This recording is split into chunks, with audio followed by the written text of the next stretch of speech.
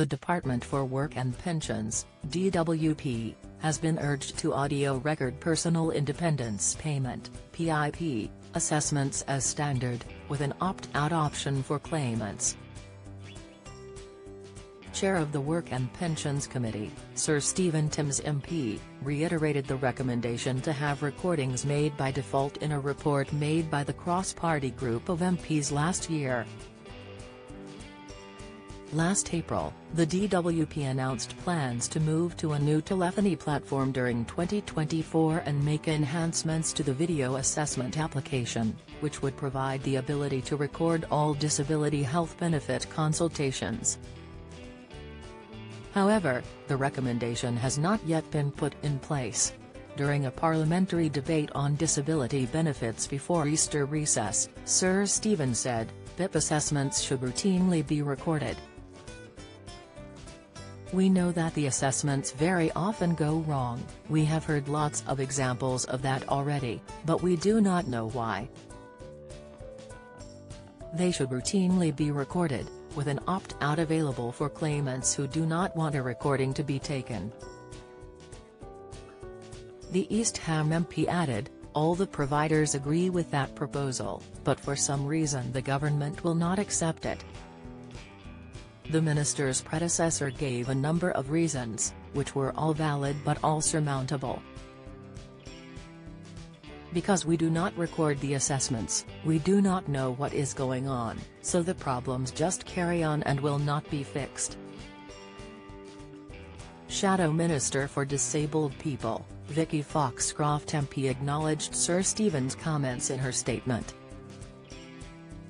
She said, I have heard him say this many times, why do we not just make sure that assessments are recorded as standard? That is a simple thing that can be done straight away. Responding to the comments, Minister for Disabled People, Health, and Work, Mims Davies MP explained that PIP assessments can be recorded, but claimants need to ask for it to be done before the consultation take place. Ms. Davies said, the chair of the Select Committee, the Right Hon. Member for East Ham, Sir Stephen Timms, asked about audio recording. We have taken an opt-in approach, but I am happy to go away and look at the specific point that he raised. Sir Stephen responded, I am grateful to the Minister for picking up my point about default recording and for her offer to look into it. When she does so, will she bear it in mind that all the companies that provide these assessments favor default recordings? The DWP minister said he made a good point, adding, the companies want to get it right and they are keen to do what is right. I am very happy to look at that, feed back to him my thoughts and pick that issue up in the department under my tenure.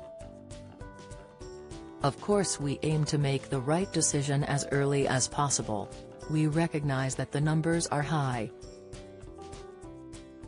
If you have a PIP assessment due over the next few weeks, remember that you can ask for it to be audio recorded, but you need to advise DWP in advance of the consultation date. Get the latest record money news join the conversation on our Money Saving Scotland Facebook group for energy and money saving tips, the latest benefits news, consumer help and advice on coping with the cost of living crisis. Sign up to our Record Money newsletter and get the top stories sent to your inbox daily from Monday to Friday, including a special cost of living edition on a Thursday. Sign up here. You can also follow us on X, formerly Twitter, at recordmoney underscore for regular updates throughout the day. New, get our money news alerts on your phone by joining our daily Record Money WhatsApp community.